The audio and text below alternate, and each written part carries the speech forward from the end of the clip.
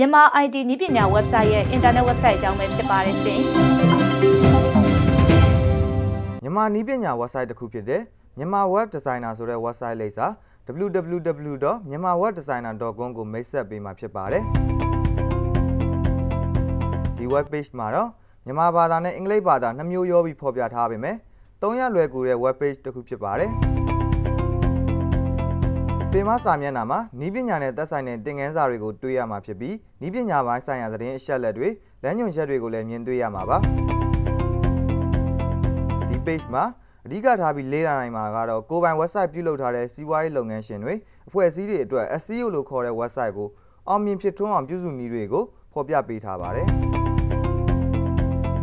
ခြားအကြောင်းအရာတွေဖြစ်တဲ့ internet အသုံးပြုတာတွေ software တွေ phone application တွေ စတဲ့နည်းပညာပိုင်းသင်ခန်းစာဗဟုသုတတွေလည်းအစုံလင်ရှိနေပါတယ်